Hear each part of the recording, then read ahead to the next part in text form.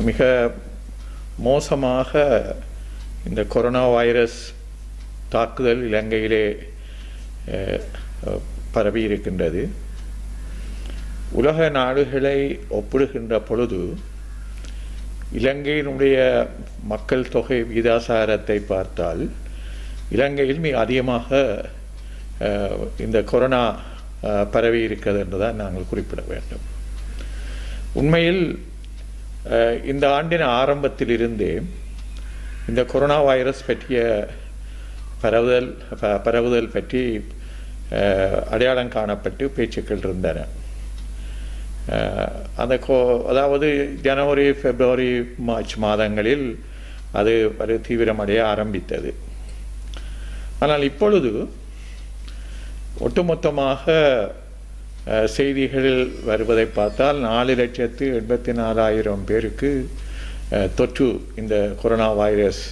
இப்பொழுது டெல்டா என்ற ஒரு வைரஸ் தான் தீவிரமாக எல்லா இடமும் பரவி இருக்கிறது என்றும் அதைவிட புதிய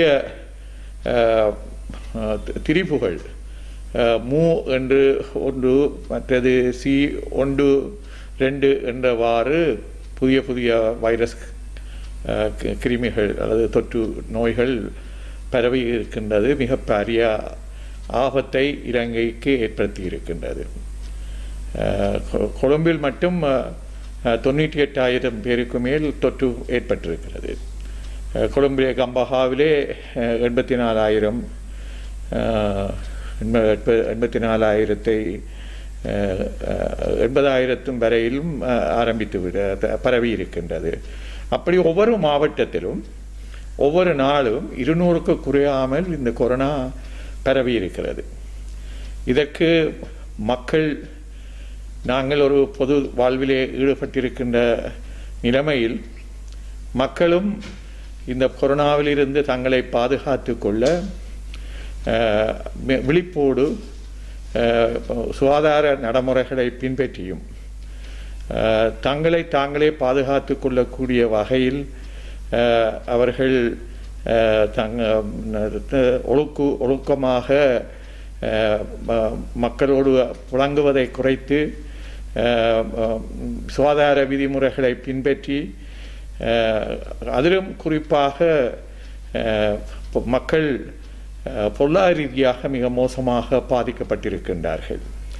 வேளாண் மக்கள் க- மீன் மீனம் மீன் பிடிக்கின்ற மீன் தொழிலில் ஈடுபட்டிருக்கின்றவர்கள் தொழிலுக்கு செல்ல முடியாமல் உற்பத்தியை விற்க முடியாமல் விலைவாசி மிக தீவிரமாக கடுமையாக உயர்ந்திருக்கிறது. கொரோனா வைரஸ் பரவலைப் போல விலைவாசியும் மக்கள் மத்தியிலே மிக நெருக்கடியை வாழ்க்கையை வாழ்க்கையில் அவர்கள் பசி பட்டினிக்கு செல்லக்கூடிய நிலைமையை அடைந்திருக்கிறார்கள் அடைந்து வருகிறார்கள்.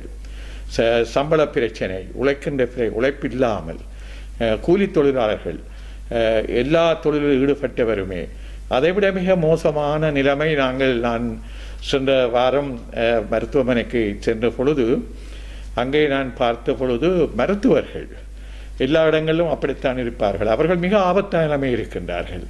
மருத்துவர்கள் மருத்துவத்துறையை சார்ந்தவர்கள் தாதியர்கள் அவர்கள் மிக பிரதாபத்துக்குரியவர்களாக இருக்கின்றார்கள். அவர்கள் தங்கள் எத்தனையோ பேர் உயிருக்கு ஆபத்து ஆன நிலைமையிலே கூட விழுந்திருக்கிறார்கள். இவற்றையெல்லாம் நாங்கள் பார்க்கின்ற பொழுது நாங்களும் மக்களும் எல்லோரும் இந்த கொரோனாவில் இருந்து விடுபடுவதற்கு நாங்கள் எங்களையே பாதுகாத்து கொள்ள வேண்டும் என்ற ஒரு நிலைமைக்கு நாங்கள் வந்துவிட்டோம். உண்மையில் அரசாங்கம் ஆரம்ப காலங்களில் எதிர்த்தரப்புகளிலிருந்து குரல் கொடுத்ததைப் போல அல்லது செய்திருக்க வேண்டிய வேலை இது ஒரு தேசிய பிரச்சனை எங்களுடைய இனப்பிரச்சனைக்கு அப்பால். உயிர்களை பாதுகாக்கின்ற ஒரு மிக மோசமான ஒரு நெருக்கடி நிலைமை. அனைத்து பாராளுமன்றத்திலேயானும் ஆயினும் அங்கம் வகிக்கின்ற அரசியல் தலைவர்களை மருத்துவ துறையிலே நிபுணத்துவம் வாய்ந்தவர்களை எல்லோரும் அவர்கள் ஒரு அமைப்பாக ஒன்று கூடி ஒரு தேசிய அமைப்பாக இந்த கொரோனாவை தடுப்பதற்கு திட்டங்களை தீட்டியிருக்க வேண்டும். இந்த மருந்து வேக்சின் இப்பொழுது அதிகமாக அஸ்ட்ராசெனேகா சைனா ஃபார்ம் அப்படி இப்போ மற்றது மொடோனா ஃபைசர் ஸ்புட்னிக் வி இப்படியெல்லாம் பலவிதமான மருந்துகள் உலகங்களிலே கண்டுபிடிக்க உலகத்திலே கண்டுபிடிக்கப்பட்டு இங்கேயும் அந்த வேக்சின் அந்த மருந்துகள் பாவிக்கப்படுகின்றது. இதை பாவிப்பதை நாங்கள் அனைவரும் மக்களுக்கு எது சிறந்தது எது நல்லது என்பதை பற்றி எல்லாம் விளங்கிக் கொள்ள முடியாமல் இருக்கலாம். படித்தவர்களுக்கு தெரியும்.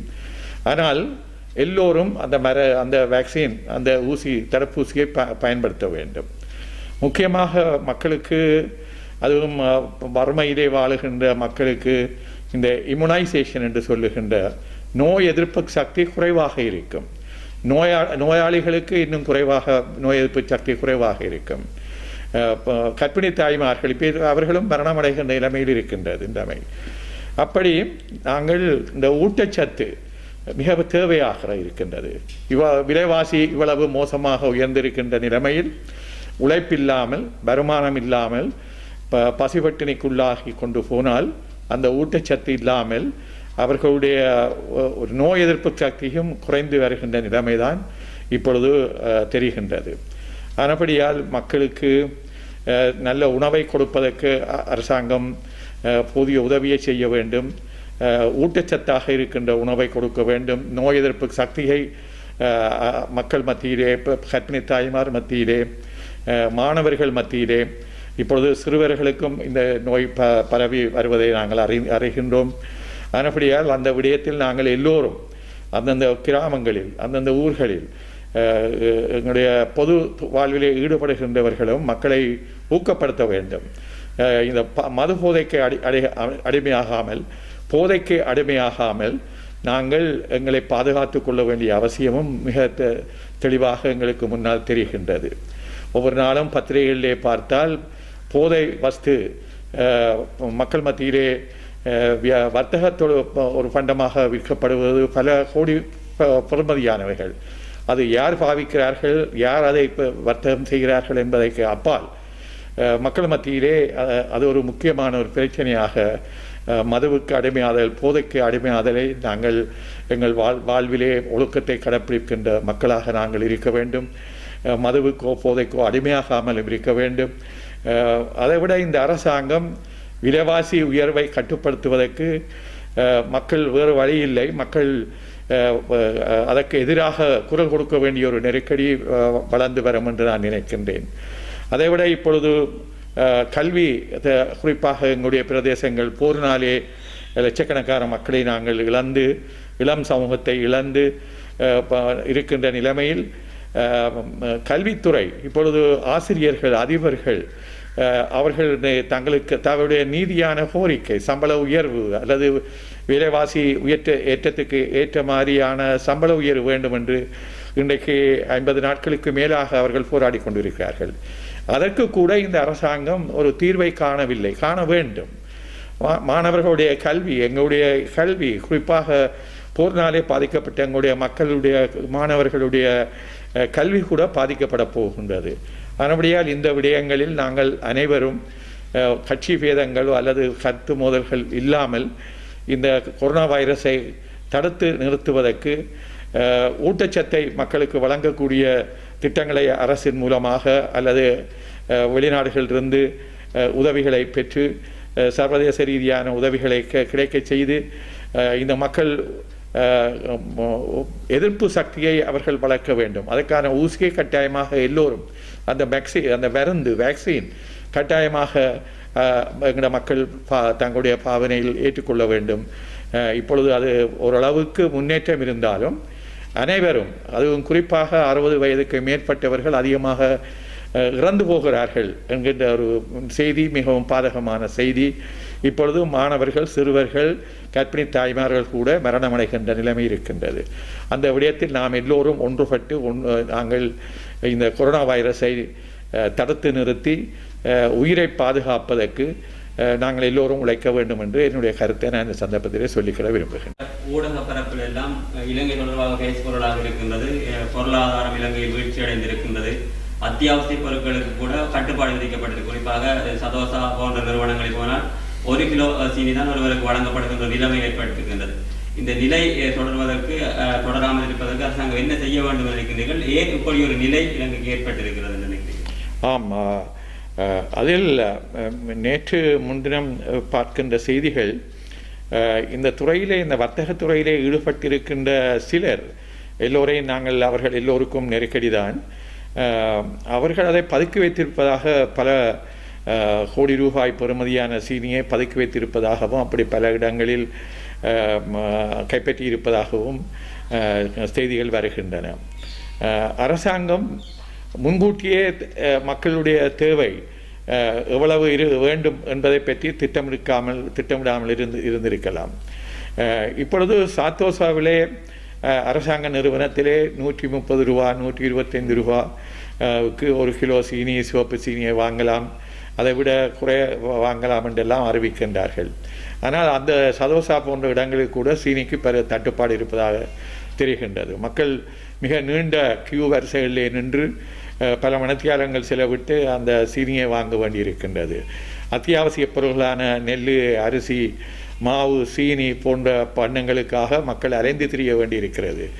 இந்த தடை உத்தரவுகளினால் அது அவச அவசரம் பிறப்பிக்கப்பட்டதனால் மக்கள் கடைகளுக்கு செல்லவோ அல்லது இந்த பண்டங்களை தேடி வாங்கவோ அல்லது அந்த ப பண்டங்களை அல்லது அத்தியாவசிய பண்டங்களை கூட தங்களுடைய உணவுக்கு தேவைப்பட்ட பண்டங்களை கூட போதிய பணத்தை கொடுத்து விலை உயர்ந்திருக்கின்ற நேரத்தில் அதை விட விலை உயர்ந்திருக்கின்ற நேரத்தில் அவர்கள் வா வாங்க முடியாமல் தவிக்கின்றார்கள். அரசாங்கம் இதை முன்கூட்டியே திட்டமிட வேண்டும். இந்த நோய் பரவுகின்ற வேகத்தை க- பார்த்து அடுத்த திங்களிலே அடுத்த மாதங்களிலே எவ்வளவு தட்டுப்பாடு வரப்போகின்றது மருந்து எவ்வளவு தேவை இருக்கிறது வேக்சின் எத்தனை பேருக்கு போடணும் இப்போ இதெல்லாம் திட்டமிடப்படுவதில் இந்த அரசாங்கம் மிகவும் அஹ், பிழையினமான அல்லது ஒரு சிந்தனையற்ற ஒரு தோல்வி அடைந்த ஒரு சூழ்நிலையில் தான் இருக்கிறது என்று நாங்கள் குறிப்பிடலாம். இது இன்னும் வர வர எவ்வளவு மோசமான ஒரு நிலையை பசிப்பட்டினியை நோயினால் இறக்கின்ற நிலைமையை இங்கே ஏற்படுத்தப் போகிறது என்ற அவலத்துக்கு இந்த அரசாங்கம் பொறுப்பேற்க வேண்டும். சாதாரண மக்கள் இந்த நோயை அறிய முடியாமல் இருக்கின்றார்கள். நோயினுடைய ஆபத்தை அறிய முடியாமல் இருக்கின்றார்கள். அதன்படியால் விழிப்புணர்வை ஏற்படுத்துவதிலும் அந்தந்த பிரதேசங்களிலே மக்களும் கவனமாக விழிப்புணர்வோடு இந்த நோயை எதிர்த்து நிற்பதா எதிர்த்து நிற்பதற்கு அதைவிட அவர்களுக்கு உணவு பற்றாக்குறை பசி பட்டினி அவர்கள் பணத்தை ப- பணம் இல்லாமல் உழைப்பில்லாமல் வாழ்வாதாரம் இல்லாமல் வாழுகின்ற நிலைமையெல்லாம் இந்த அரசாங்கம் தான் அதுக்கு பதில் சொல்ல வேண்டும் என்று அவர்கள் பெரும் பா- பெ- பெருமளவில் அவர்கள் பெரும் பலத்தோடு ஆட்சியை அமைத்தவர்கள். வேறு யாரும் இதற்கு பதில் சொல்ல முடியாது அரசாங்கம். அதனால் தான் நான் ஆரம்பத்திலேயே சொன்னேன் இந்த நேரத்தில் நாங்கள் விவாதங்களுக்கும் முரண்பாடுகளுக்கு இடமளியாமல் பாராளுமன்றத்திலே தானும் ஒரு பாராளுமன்றத்திலே அங்கம் வகிக்கின்ற கட்சி தலைவர்கள் ஒரு தேசிய அடி அடிப்படையில் இந்த நோயை இந்த கொரோனா வைரஸை நாங்கள் அகற்றுவதற்கு மக்களோட உயிர்களை பாதுகாப்பதற்கு ஒன்றுபட்டு நிற்க வேண்டியதுதான் மிக அவசியமானது என்று நான் கூறிக்கொள்ள விரும்புகிறேன். இப்பொழுது இராணுவத்தினரும் நாங்கள் அவர்களை த- நாங்கள் குறை சொல்லுவதல்ல. ஆனால் அரசாங்கம் இப்பொழுது எங்கு பார்த்தாலும் கொரோனா வைரஸுக்கு அவர்கள் உதவி செய்வது ஒரு வகையில் அது நல்லது தான் நல்லதுதான். ஆனால் நிர்வாக ரீதியாக ஆட்சி ரீதியாக எல்லா இடத்திலும் எல்லா துறைகளிலும் இன்றைக்கு இராணுவத்தினரையே பல ஓய்வு பெற்றவர்கள் போரிலே ஈடுபட்டு குற்றம் சுமத்தப்பட்டவர்கள் கூட இன்றைக்கு நிர்வாக நடவடிக்கைகளில் பொறுப்பு வாய்ந்தவர்களாக அமைச்சு அமைச்சர்கள் போல தீர்மானம் எடுக்க எடுத்து நடைமுறைப்படுத்தவர்களாக இன்றைக்கு இருக்கின்றார்கள். இது ஒரு சர்வாதிகார ஆட்சிக்கு எதிர்காலத்தில் ஒரு இராணுவ ஆட்சிக்கு இட்டுச் செல்லும் என்ற அச்சம் எங்களுக்கு இருக்கின்றது. அதே போல இப்பொழுது அவசர சட்டத்தை பிரகடனப்படுத்தியது அது ராஜ- ராஜபக்சா ஹோதபே ராஜபக்சா அவருக்கு அதாவது ஜனாதிபதி பதவி அவர்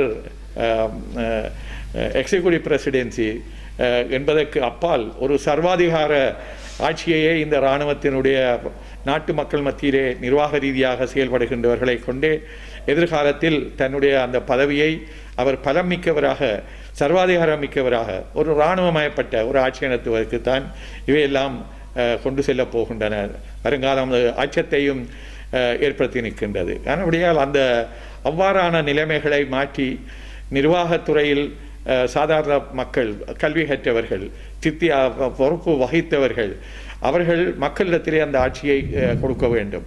அதுதான் சிறந்தது. இப்பொழுது இப்போதைக்கு இராணுவத்தினர் பயன்படுவது ஏற்றுக்கொள்ள முடிந்தாலும் அனைத்து நிர்வாக மட்டங்களிலும் அவர்களே நியமித்து ஆட்சியை நடத்துவதும் அவசரால அவசரகால சட்டத்தை அவசரம் இல்லாமல் உருவாக்கி ஜனாதிபதிக்கே அதிகாரம் முழுவதையும் குவிக்கின்ற ஒரு நடைமுறையை நாங்கள் மக்கள் எதிர்காலத்தில் ஏற்றுக்கொள்ள முடியாது.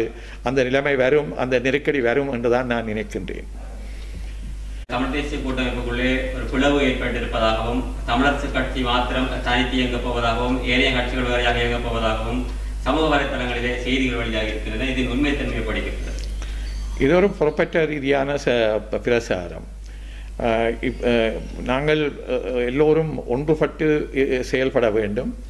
தமிழ் மக்களுடைய விடுதலை போராட்டம் எங்கள் தேசத்தின் விடுதலை போராட்டம் அதில் நாங்கள் தனித்தனியே பிளவுபட்டு அல்லது தனித்தனி கட்சிகளாக செயல்படுவது எதிர்காலத்தில் எங்களை பலையினப்படுத்திவிடும் எங்களுடைய இலக்கை அடைய முடியாமல் போய்விடும்.